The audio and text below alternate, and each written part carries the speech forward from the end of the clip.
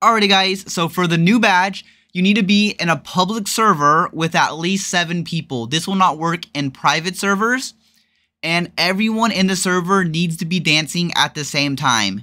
So if your server has 14 people in it, all 14 people need to be dancing, but the server must have at least 7 people, and it only works in public servers. As you see, I just got the badge, and now I'm going to go ahead and showcase it.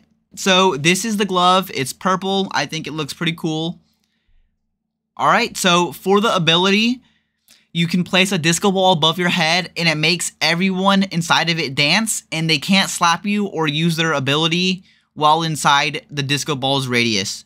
I really love this ability. Thank you so much for watching. If you want help with the badge, join my Discord server, link in the description. Peace.